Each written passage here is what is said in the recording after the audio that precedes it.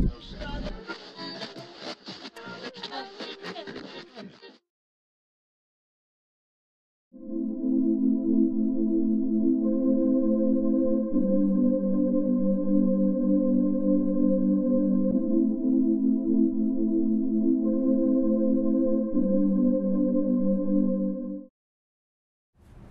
welcome to my lab, the Lab of Doom. Two more victims from my lab today.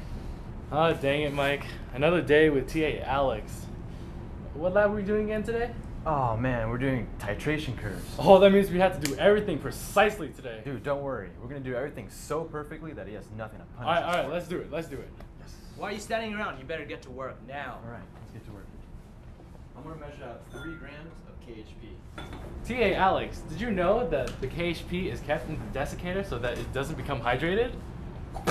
Don't think you can get an A by sweet talking me, boy. Uh, let me teach you some respect. Mike, pay Oh, attention. You yes. better get exactly three grams, or I'm I'll destroy you. Trying.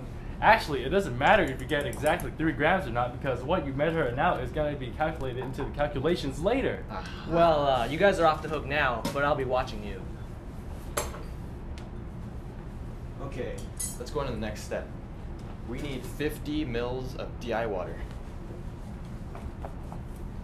You better have exactly 50 mils, or I'll obliterate you. Um, yes, sir. I'm gonna rinse, pre-rinse this beaker, and then dump it into this waste beaker. Alright, 50 mils. TA Alex, you actually don't need to have exactly 50 mils of water because the water actually doesn't even play a part in the reaction. Uh, well, uh, you guys will make a mistake soon enough. Alright, 50 mils. Let's add the KHP. And a stir bar.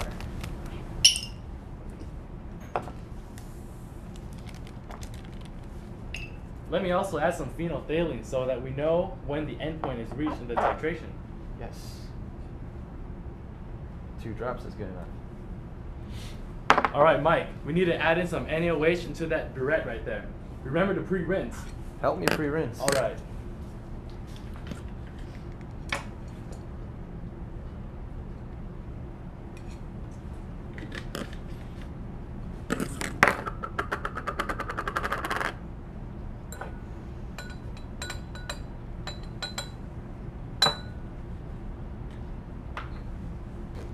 Alright, let's get rid of the bubble here at the bottom too. Just a little bit.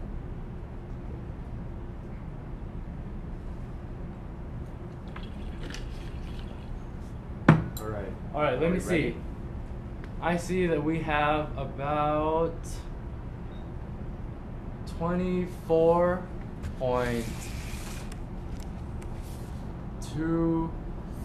milliliters. Got it. Alright, now I'm gonna attach the burette to this clamp here. This drop counter is used so that we measure the exact volume of NaOH that goes into this beaker. Also, I'm gonna attach this pH probe here so that I constantly measure the pH as the, the NaOH is being added into this beaker. Hey, don't forget about Logger Pro. Make sure that the drop counter and the pH probe are um, connected to Logger Pro interface. And make sure that the y-axis is set to measure the pH and the x-axis is set to measure the volume of NaOH. Alright, we're ready to go. I'm gonna turn this stir bar so that the solution will mix evenly. Okay. Ready to collect? Alright, are you ready? I'm gonna turn this knob. I'm gonna turn this knob, and then you're gonna press start, okay? Okay. Alright, one, two, three, go!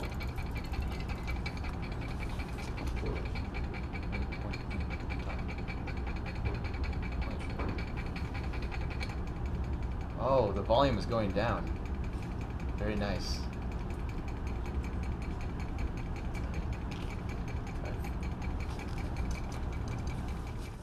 Oh look, Oh. it's it's turning pink. And, Hurry, and record stop the final volume. Alright, alright. I see it's at 38.97.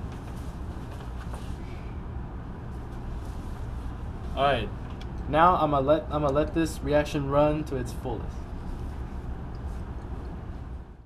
Alright, looks like the titration is complete. Once it's done, you should get a graph looking like this. At the spike point, you can you, you can tell that it turned pink, and we let it run for a little longer so that the titration graph will be complete. Okay. All right, you want to do this again? Yeah, let's do it All right, let's go. What are you guys doing? Why are you doing it again? You're wasting so much material. But but wait a minute. In the lab report, it told us to do it three times so we get good results. And this is what Dr. Edwards says. And she's your boss. Do you do you not know this the, the procedures to this lab? Aha! You want us to tell Dr. Edwards about your your ill methods? No, don't you dare. Then get out of here and let us do our magic.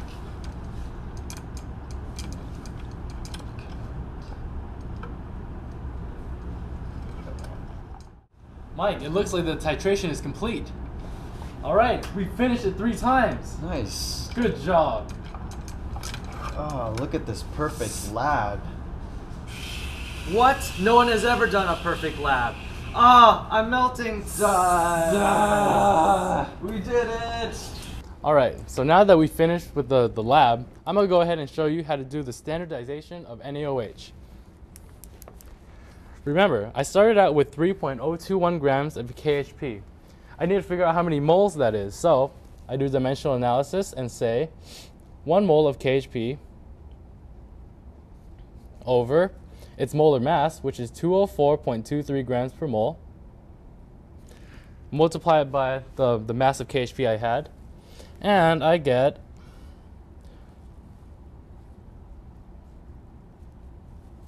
about 0.0147 moles of KHP.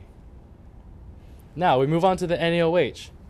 I started with 24.27 mils of NaOH and I ended up with 38.97. So I take the difference of this to get the amount of NaOH I used. And this amounts to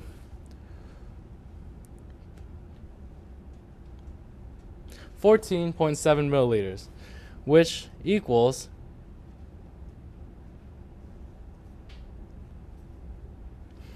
point one four seven liters. And so I have to figure out the molarity of NaOH, I do x moles NaOH over 1 liter times 0.147 for the amount of liters I used.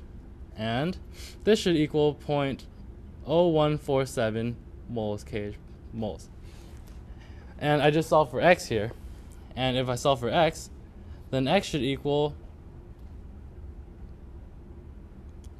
0.1. So we know that the molarity is now 0.1 mole over 1 liter, which equals 0.1 molarity. So now we figured out what concentration of NaOH we were using.